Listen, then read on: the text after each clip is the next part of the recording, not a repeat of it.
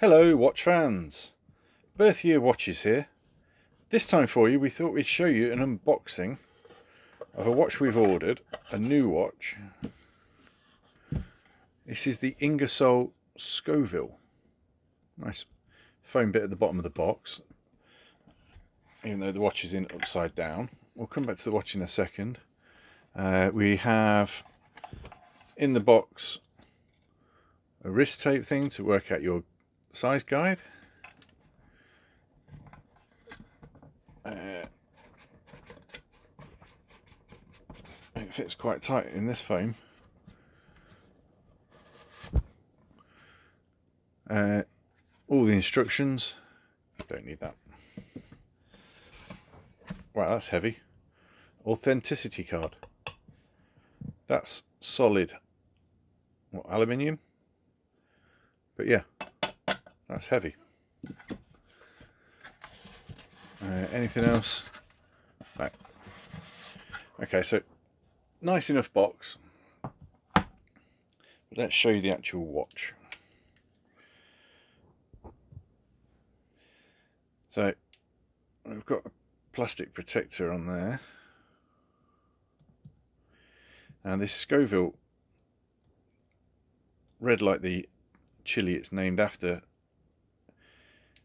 uh, is automatic bracelet watch, exhibition case back, 100 meter water resistance, and not a bad looking thing. It is just a unidirectional crown, uh, sorry, bezel. The crown does screw down, which is good for an automatic.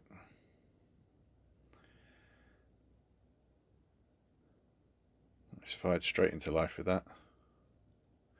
And you've got quick set date. First impressions is it's quite large. Uh, it also feels quite heavy. There's still a bit of protective wrap on here. Oh, the Scovill, not just Scovill. We'll take this protective wrap off for photography. Bracelet's going to fit uh, the average uh, wrist and a lot more. There's some vintage looks going on here. There's a little bit of I can see hints from Omega and Tudor in this design quite clearly. Obviously it's not at that price. Now these had a retail price of £365, brand new. This is brand new, but we're not charging anywhere near that. Uh, but we only have one, so that, that's the compromise. So if you would like to be the owner of this, it's fresh, straight from the wrapper. Then just click the link below and get in touch. This could be yours. Thanks for watching.